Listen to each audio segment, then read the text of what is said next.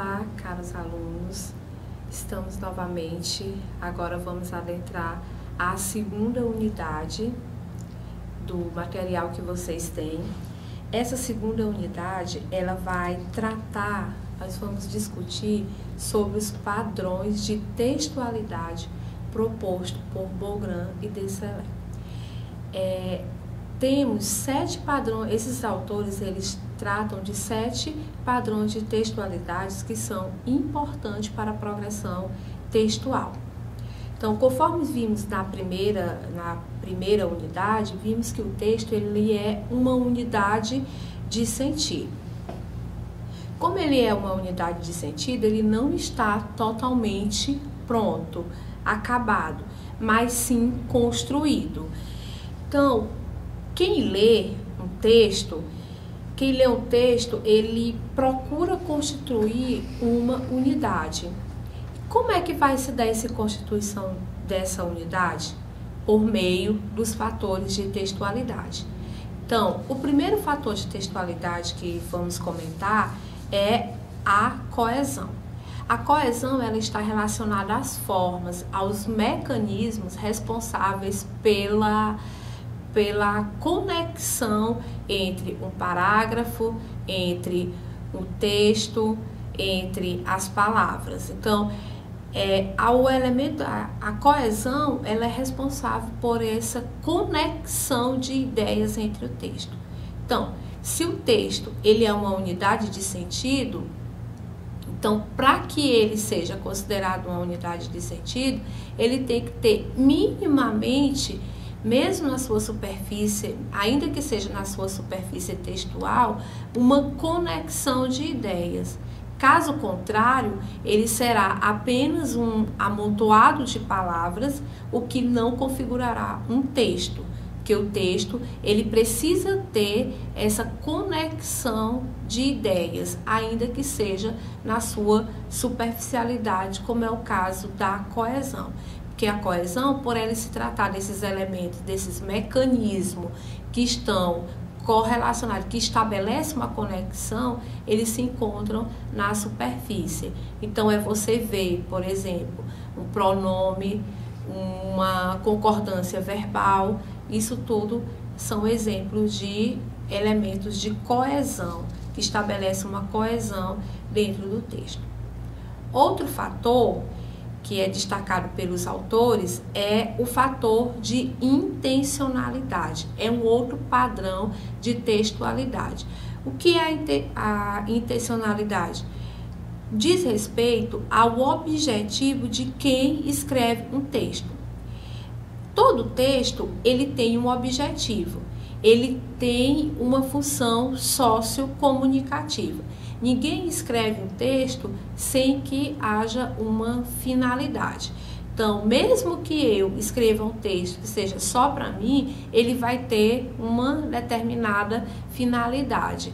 Ele pode ser, por exemplo, é, a materialização de, de uma.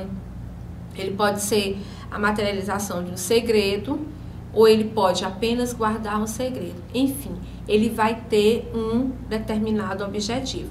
Por isso que esse fator de, de intencionalidade é, diz respeito ao objetivo de quem escreve. Que fator, que função sociocomunicativa né, o autor do texto pretende. E aí chegamos então ao terceiro fator, que é o fator chamado de informatividade. A informatividade, ela depende muito de quem lê. Como assim? Porque todo texto, ele tem um determinado nível. Por ele ter um determinado nível, por exemplo, o nível que é para mim, um nível que o determinado texto tem para mim, pode ser diferente para um, para um outro interlocutor. Então, há essa diferença entre informatividade de determinados interlocutores, entre determinados interlocutores. E aí nós podemos destacar, em relação a esse fator, que nós temos é, três níveis de é, informatividade. O primeiro nível é o que a gente chama de nível alto, diz respeito às informações novas, a um texto que tem muitas informações novas. O segundo nível é o nível mediano. É como se houvesse uma equilibração entre as informações novas e as informações conhecidas. O terceiro nível é o nível baixo. Esse nível, quando isso acontece, quando temos um texto que o nível é bastante baixo, temos um texto que é previsível.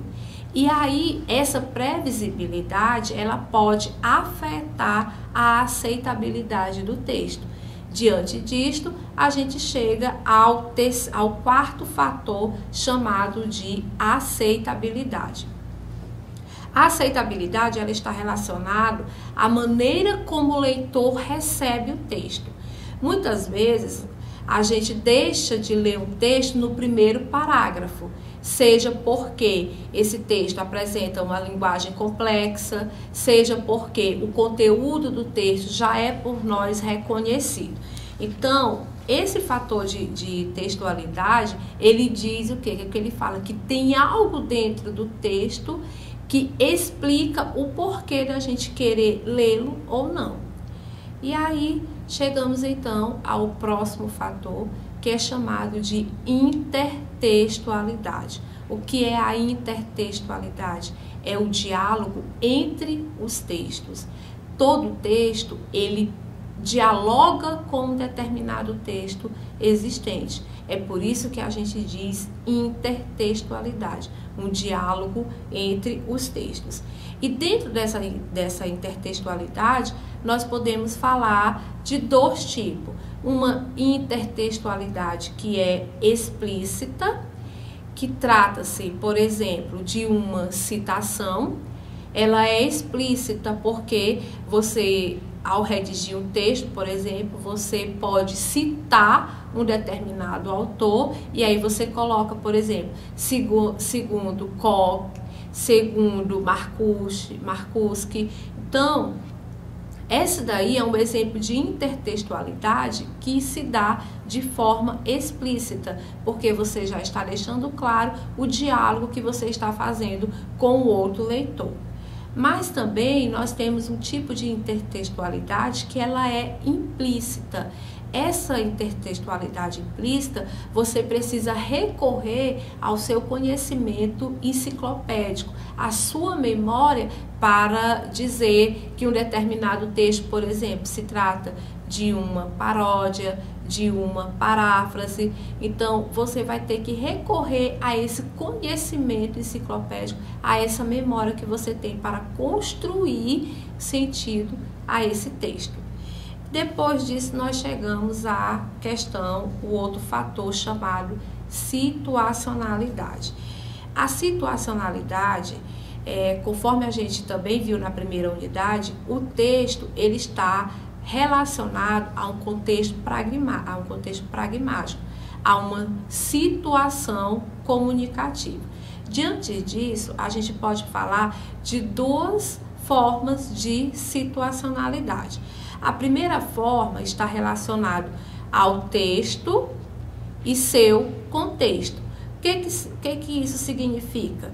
Por exemplo, quando você está em uma determinada situação comunicativa e você precisa adequar ao seu precisa adequar o seu texto a essa dada situação comunicativa.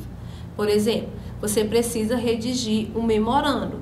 Então você precisa entender que trata-se que ele tem que ter uma linguagem formal, que ele tem uma determinada estrutura e que ele circula em uma dada situação comunicativa, em uma dada situação de interação. E nós temos também um outro tipo que é adequar as, o texto, a situação, aliás, ao texto, em que você, por exemplo, lê um texto e o texto ele tem pistas que lhe diz em que situação, aqui, em que situação ele foi escrito ou em que situação ele se refere. É, por exemplo, você pegar um jornal lá do século XIX e você lê-lo e observar que tem algumas pistas linguísticas que lhe remete ao contexto de produção desse texto. Então, nós temos esses dois tipos de situacionalidade. E chegamos então ao último fator de textualidade, que é chamado coerência. A coerência, ela é a junção de todos esses fatores que eu citei anteriormente, de esses padrões de textualidade, e ela é o elemento que construi, que constrói sentido ao texto. Então, alunos, caros alunos, esses aqui são os pontos tratados na segunda unidade. Ele, essa unidade ela trata desses padrões de textualidade e como eles são importantes para a progressão textual. Então, aqui eu tratei basicamente do conceito de cada um, mas no material de vocês vocês vão observar que tem uma profundidade maior, com mais exemplos que podem é, auxiliá-los a ter uma compreensão maior desses padrões de textualidade.